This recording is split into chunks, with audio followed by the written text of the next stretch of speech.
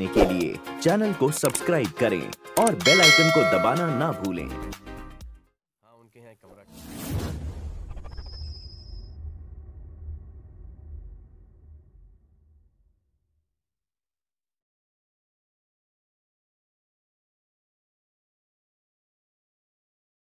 Hello दोस्तों नमस्कार। मेरे यूट्यूब चैनल मनी मस्ती पर आपका बहुत बहुत स्वागत है। दोस्तों आज की वीडियो में हम बात करेंगे कल के लिए इंट्राडे स्टॉक्स के बारे में।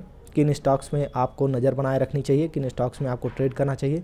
तो दोस्तों, वीडियो में आगे बढ़ने से पहले मैं आपको बता दूँ, अगर आपने हमारे चैनल को सब्सक्राइब नहीं किया, सब्सक्राइब के लिए साथ ही बेल आइकन को भी दबा दीजिए, ताकि लेटेस्ट वीडियोज़ की नोटिफिकेशन सबसे पहले आपको मिले।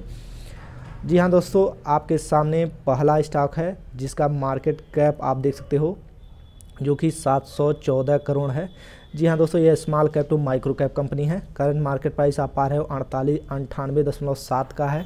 जबकि आप हाई लो पा रहे हो निन्यानवे दशमलव छः और तीन बत्तीस दशमलव सात की। जी हाँ दोस्तों, हाई के पास ही ये स्टॉक ट्रेड कर रहा है। चलिए दोस्तों, हम वैल्यूएशंस की बात कर लें। तो आपके सामने वैल्यूएशंस का आंकड़ा मैं फ़िलहाल दिखा रहा हूँ, जिसमें आप स्टॉक की पी पा रहे हो अट्ठान, अट्ठारह दशमलव सात प्रतिशत। जहाँ स्टॉक की पी है, वहीं इंडस्ट्री की पी अट्ठारह दशमलव सात प्रतिशत पर है। जी हाँ दोस्तों, ये कंपनी पहले लुक में तो महँगी कंपनी नहीं लग रही है।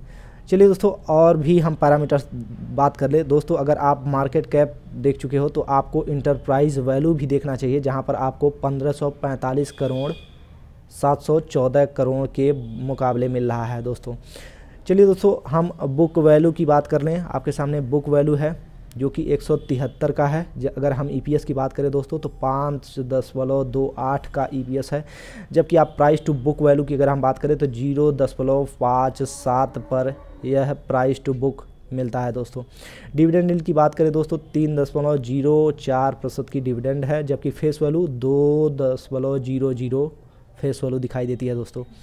चलिए दोस्तों ये तो हो गया कंपनी के वैल्यूएशंस और कंपनी के बारे में। चलिए दोस्तों अब हम बिज़नेस की तरफ़ चलते हैं। बिज़नेस में सबसे पहले हम देखेंगे डेप्ट डेप्ट टू इक्विटी आप पा रहे हो ज़ीरो पॉइंट सेवन फोर प्रतिशत जबकि आप अगर डेप्ट टू इक्विटी देखते हो तो इंटरेस्ट कवरेज रेशियो भी आपको देखना चाहिए जो कि वन पॉइंट फाइव थ्री प्रतिशत दिखाई देता है दो, दोस्तों जो कि बहुत ही बेहतर स्थिति में है। चलिए दोस्तों, अगर हम सेल्स की बात कर लें सेल्स पर आ जाते हैं कंपनी के बिज़नेस पर आ जाते हैं, जहाँ पर आपको सेल्स ग्रोथ पाँच ईयर्स की दिखा रही है, जो ज़ीरो पॉइंट फोर सिक्स प्रतिशत पर है, जबकि आप प्रॉफिट पाँच ईयर्स की माइनस चौदह दशमलव सात प्रतिशत पा रहे हो। जी हाँ दोस्तों प्रॉफिट कंपनी नहीं कमा रही है, ये नेगेटिव में है। चलिए दोस्तों, हम और भी पैरामीटर्स को चेक कर लेते हैं, जिसमें आपको दिखाई देगा रिटर्न ऑन इक्विटी पाँच साल की, जो कि पाँच दशमलव दो ज़ीरो पर है। जबकि हम रिटर्न ऑन इक्विटी दो ओवरऑल बात करें दोस्तों, तीन दशमलव सात चार प्रतिशत की है, जहाँ पर एक इंक्रीजमेंट दिखाई देती है दोस्तों। अगर हम रिटर्न ऑन कैपिटल एम्प्लॉयड की अगर बात करें तो ये ओवरऑल छः दशमलव छः चार पर है, जबकि आप return on equity capital employed की अगर पाँच साल का पैरामीटर देखोगे तो छः दशमलव नौ नौ प्रतिशत है दोस्तों। इसके अलावा दोस्तों रिटर्न ऑन एसेट की अगर हम बात कर लें तो दो दशमलव वन एक दो प्रतिशत की रिटर्न ऑन एसेट है। प्लेज परसेंटेज दोस्तों, फ़िलहाल कंपनी के पास नहीं है। जबकि आप देखते हो ऑपरेटिंग प्रॉफिट मार्जिन जो कंपनी शो ऑफ़ कर रही है, वो पूरा ओवरऑल बारह दशमलव दो प्रतिशत है। जबकि ऑपरेटिंग प्रॉफिट मार्जिन अगर हम पाँच साल का देखें तो तेरह दशमलव तीन प्रतिशत दिखाई देता है दोस्तों। अगर दोस्तों, अगर हम नेट प्रॉफिट की बात करें तो कंपनी के पास फ़िलहाल नेट प्रॉफिट जो होता हुआ दिखाई दे रहा है, वो अड़तीस दशमलव दो करोड़ पर है। दोस्तों, ये था कंपनी के बारे में फंडामेंटल तो दोस्तों, हमने कंपनी के बारे में जाना। चलिए दोस्तों, अब हम कंपनी का नाम देख लेते हैं। जी हाँ दोस्तों, मैं बात कर रहा हूँ H S I L limited के बारे में। जी हाँ दोस्तों, अब हम इस कंपनी के चार्ट के पैरामीटर्स को देखेंगे। चार्ट पर हम सीधे चलते हैं। चलिए दोस्तों, अब हम आ गए हैं कंपनी के चार्ट पर, जहाँ पर आप देख रहे हो वन डे का टाइम फ्रेम हमने लगाया है। दोस्तों, ये पूरा एनालिसिस, केवल प्राइस, एक्शन और रिस्क रिवार्ड पर बैठा है दोस्तों। जहाँ पर आपको देखना चाहिए, वन डे का आप चार्ट देख, देखते हो तो आपको बेहतर प्राइस, एक्शन मुझे दिखाई देता है दोस्तों। जहाँ पर आप वॉल्यूम बेहतर पा रहे हो, बेहतर स्थिति में पा रहे हो आर एस आई भी बेहतर स्थिति में पा रहे हो।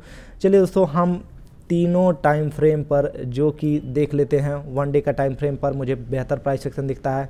दोस्तों वन वीक की अगर हम बात करें वन वीक में आप देख सकते हो, जहाँ पर वन वीक में भी यह प्राइस मुझे बेहतर दिखाई पड़ता है दोस्तों।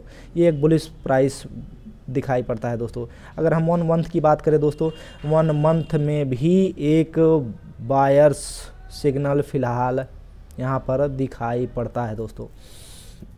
चलिए दोस्तों, ये तो एच एस आई एल के अलग अलग टाइम फ्रेम की बात हो गई। अगर दोस्तों हम फिर से वन डे का चार्ट लगाते हैं, जहाँ पर दोस्तों मैं अब इंडिकेटर्स की बात करूँगा, जहाँ पर आप 200 दिन का एक्सपोनेंशियल मूविंग एवरेज पा रहे हो जो कि ये लाइन दिखा रही है इकहत्तर दशमलव छः पाँच पर 200 दिन का एक्सपोनेंशियल मूविंग एवरेज तो इसके ऊपर प्राइस है दोस्तों, ये भी एक बेहतर कंडीशन में दिखाई पड़ता है दोस्तों।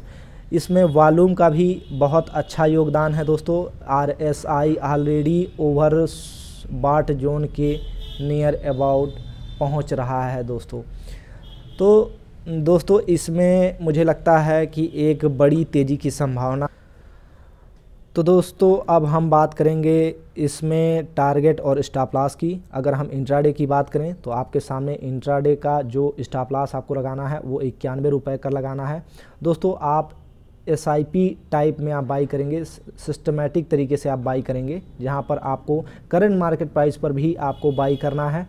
और साथ ही साथ दो तीन और लेवल्स पर आने पर भी करेक्शन होने पर भी, चूँकि प्राइस अपवर्ड डायरेक्शन में है तो इसमें करेक्शन की संभावना बनती है।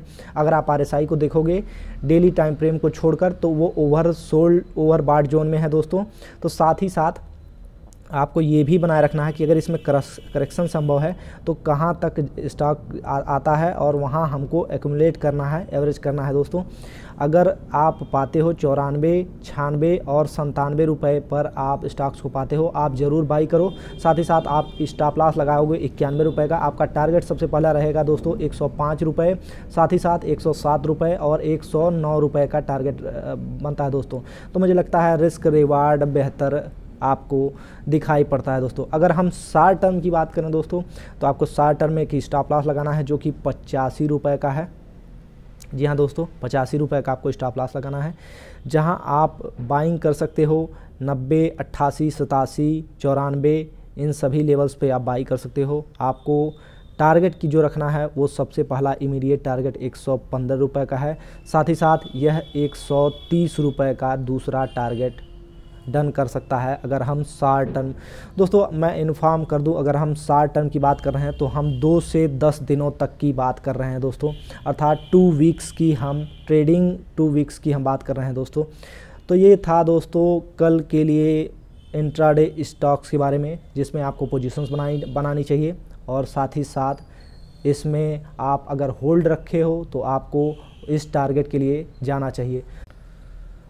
तो दोस्तों, आज की वीडियो यहीं समाप्त होती है। साथ ही साथ मैं बताना चाहूँगा, अगर आपने हमारे चैनल को शेयर नहीं की, कहीं किया है तो आप अपने social media account Facebook, Instagram, WhatsApp, आप जहाँ भी चाहें शेयर कर सकते हैं। ये totally videos free of cost होती है दोस्तों तो आपको ज़रूर शेयर करना चाहिए। साथ ही साथ सब्सक्राइब और लाइक भी करना चाहिए वीडियो को दोस्तों। अगर आग, ताकि आगे की वीडियोस के लिए हमको प्रेरणा मिल सके दोस्तों, आप सबका हमारे वीडियो में बने रहने के लिए, हमारा वीडियो अंत तक देखने के लिए आपका बहुत बहुत धन्यवाद। जय हिंद।